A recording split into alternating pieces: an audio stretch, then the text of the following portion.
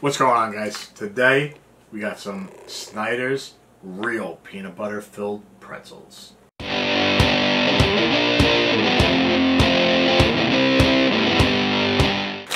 How's everybody doing today?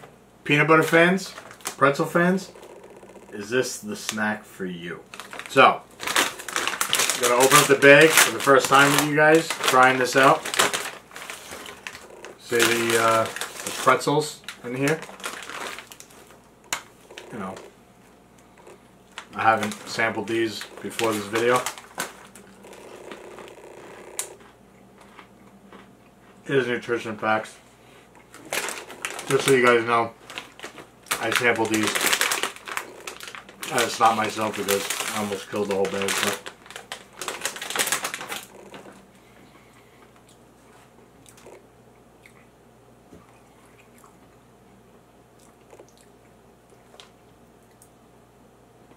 So, are these good? I love Snyder's pretzels. I think Snyder's makes the best pretzels from the sourdough ones to the just twist. The Snyder's pretzels in general are just phenomenal. Now, I got these, and are they good? They're good. They're definitely good. But I was surprised how not good they were compared to the other products. Now, this is strictly Snyder's pretzels versus Snyder pretzels. That peanut butter takes a long time to get through, but they make phenomenal pretzels. These pretzels, I don't know if it's just because they're thin, because they're filled with peanut butter, or they change how to change the recipe to make them to put the peanut. I have no idea, but they're not as good as the typical Snyder's pretzels are, which I was really surprised about, and I was really looking forward to these and being amazing. Like I said, they're good. It gets the job done. I've tried a ton of these. I love them all because I like pretzels and I like peanut butter. It's one of my favorite snacks. Reese's peanut butter cups. Snyder's pretzels, or just pretzels in general. Combine the two. Fantastic snack for me. When I first tried these, I really didn't like them at all.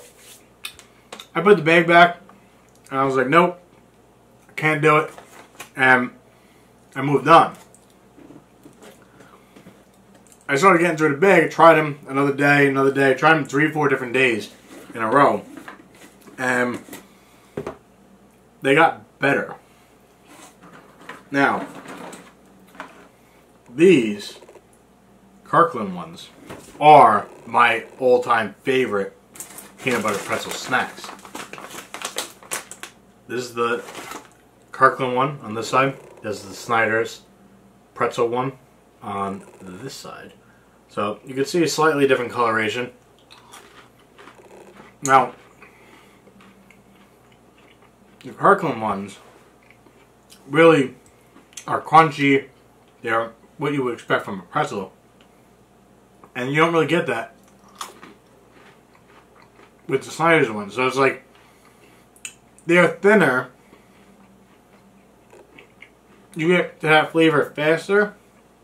The Snyder's ones are thicker. There's more pretzel to it, but they're just different. And again, obviously they're two different brands, but I'm still gonna go with the Kirkland brand there's just something about these that don't have that Snyder's pretzel taste.